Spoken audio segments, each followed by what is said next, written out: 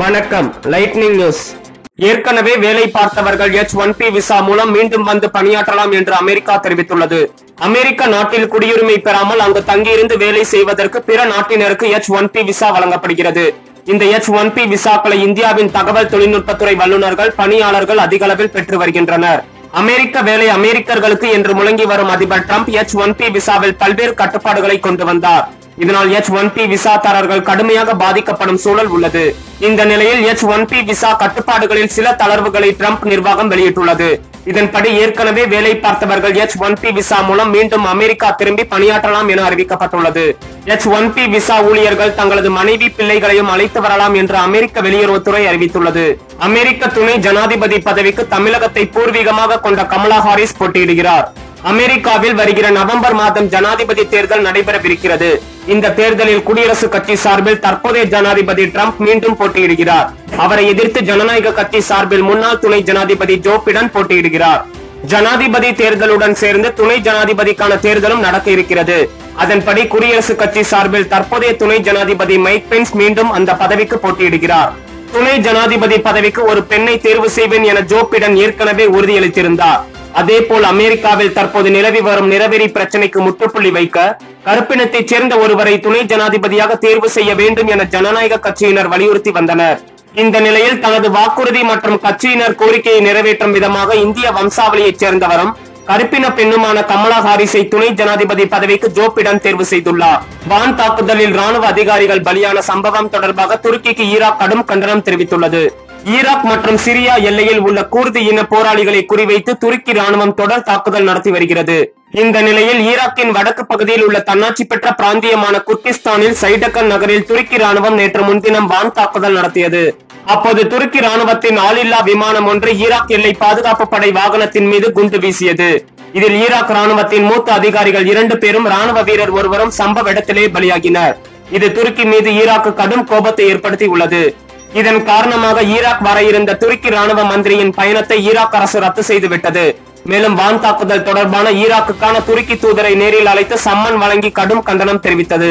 இது குறித்து ஈராக் ராணுவம் வெளியிட்டுள்ள செய்திக்குறிப்பில் கூறப்பட்டுள்ளதாவது ஈராக் பிராந்தியத்துக்குள் துருக்கி ராணுவத்தின் ஆளில்லா விமானம் நடத்திய அப்பட்டமான தாக்குதலை ஈராக் திட்டவட்டமாக நிராகரிக்கிறது கடுமையாக கண்டிக்கிறது. இதன் காரணமாக இன்று திட்டமிடப்பட்டிருந்த துருக்கி ராணுவ மந்திரியின் பயணம் ரத்து செய்யப்படுகிறது. மேலும் துருக்கி ராணுவத்தின் வான் தாக்குதலுக்கு வலுவான எதிர்ப்பை பதிவு செய்யும் விதமாக அந்த நாட்டின் தூதரை நேரில் அழைத்து சம்மன் வழங்கப்பட்டது. இவ்வாறு அதில் கூறப்பட்டுள்ளது. பெலாராஸ் போராட்டம் குறித்து ஐநா விசாரிக்க வேண்டும் என்று சர்வதேச மனித உரிமைகள் அமைப்பு கோரிக்கை விடுத்துள்ளது. கிழக்கு ஐரோப்பிய நாடான பெலாராஸில் கடந்த ஞாயிற்றுக்கிழமை அதிபர் தேர்தல் நடைபெற்றது. இதில் தற்போதைய அதிபர் அலெக்சாண்டர் லுகாஷென்கோ வெற்றி பெற்றதாக அந்த நாட்டு தேர்தல் ஆணையம் அறிவித்தது. இதன் மூலம் அலெக்சாண்டர் தொடர்ந்து ஆறாவது முறையாக அந்த நாட்டின் அதிபராகி உள்ளார். இதனிடையே தேர்தலில் முறைகேடு நடந்ததாகவும் எனவே தேர்தல் முடிவுகளை நிராகரிப்பதாகவும் எதிர்க்கட்சி வேட்பாளர் ஸ்வேட்லானா அறிவித்தார். அதையடுத்து அவரின் ஆதரவாளர்கள் பல்வேறு நகரங்களில் வீதிகளில் இறங்கி போராடத் தொடங்கினர். தொடர்ந்து நான்கு நாட்களாக நடந்து வரும் இந்த போராட்டத்தில் பல பகுதிகளில் வன்முறை வெடித்தது. போலீசார் கண்ணீர் புகை குண்டுகளை வீசி எறிந்தும் தடியடி நடத்தியும் போராட்டக்காரர்களை விரட்டி அடித்து வருகின்றனர். போராட்டத்தில் ஈடுபட்டதாக இதுவரை சுமார் மூவாயிரம் பேர் கைது செய்யப்பட்டுள்ளனர். இந்த நிலையில் பெலாராஸில் அமைதியான முறையில் நடைபெறும் போராட்டத்தை போலீசார் இரும்பு கரம் கொண்டு ஒடுக்குவதாக குற்றம் சாட்டியுள்ள சர்வதேச மனித உரிமைகள் அமைப்பு இது குறித்து விசாரணை நடத்த வேண்டும் என ஐநாவை வலியுறுத்தியுள்ளது. மேலும் அமைதியான முறையில் நடைபெறும் போராட்டங்களை மதிக்க வேண்டும் எனவும் போராட்டக்காரர்கள் மீது அதிகப்படியான சக்தியை பயன்படுத்துவதை உடனடியாக நிறுத்த வேண்டும் எனவும் பெலராஸ் போலீஸை சர்வதேச மனித உரிமைகள் அமைப்பு கேட்டுக் கொண்டுள்ளது மங்கோலியாவில் புப்போனிக் பிளேக் நோய்க்கு மேலும் ஒருவர் பலியாகினார். புப்போனிக் பிளேக் என்பது பாக்டீரியா நோய். இது மர்மோட் போன்ற காட்டில் வாழும் குறித்து தின்னும் உயிரினங்களால் பரவுகிறது. இந்த உரிய சிகிச்சை அளிக்காவிட்டால் பாதிக்கப்பட்ட நபர் இருபத்தி நான்கு மணி நேரத்தில் உயிரிழக்கக்கூடும் என உலக சுகாதார அமைப்பின் அறிக்கைகள் தெரிவிக்கின்றன. இந்த நோய் மற்றவர்களுக்கும் பரவ வாய்ப்புள்ளதால் சீனா மற்றும் மங்கோலியாவின் சில பகுதிகளில் மூன்றாம் கட்ட எச்சரிக்கை விடுக்கப்பட்டுள்ளது.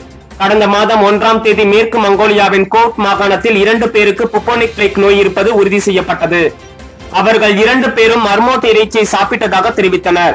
எனவே மர்மோட் இறைச்சியை மக்கள் சாப்பிட வேண்டாம் என எச்சரிக்கப்பட்டுள்ளது.